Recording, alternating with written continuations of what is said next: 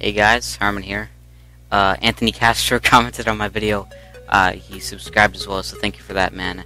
Um, he said, "Where are the frames?" And I got you covered. Right in three, two, one, bam. That's gonna be a standard in all my uh, future Alienware Alpha tests. So hopefully you guys do enjoy that. Um, this game is Insurgency. It's pretty much like if Call of Duty and Counter Strike had a kid, and I've been having a lot of fun on this game. I apologize for the lack of uploads. Um, I've been playing a lot of DayZ recently, and the frames on that game are terrible. Um, it's not the Alienware Alpha's fault, it's just the game in general. Uh, even the highest PCs can't run it. So, don't be alarmed on that. But, uh, yeah, I've been playing a lot of it, uh, regardless of the terrible frames.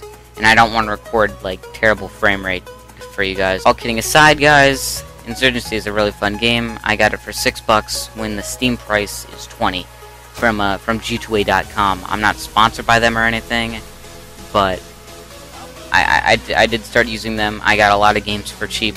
I got Crysis 3 for like two bucks when the retail price on Steam is like 30. So I'll have a link to them and you can check them out. Uh, I'm not sponsored.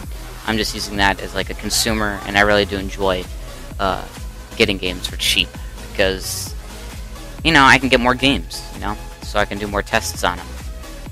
Regardless, um, hopefully you guys do enjoy the gameplay. Uh, I'm not really good at Insurgency at all because I just sort of got it.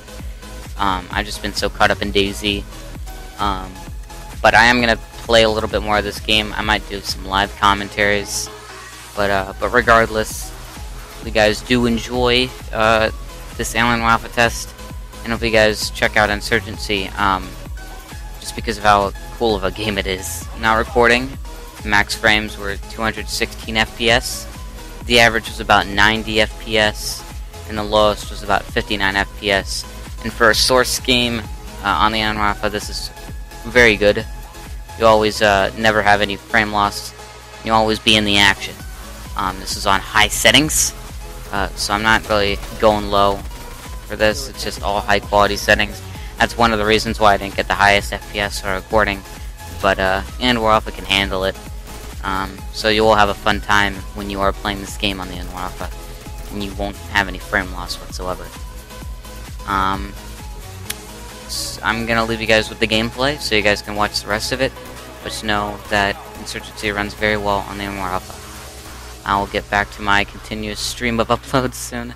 So thank you guys for waiting so long and I'll see you in the next video. My name is Harmony, and this is my outro.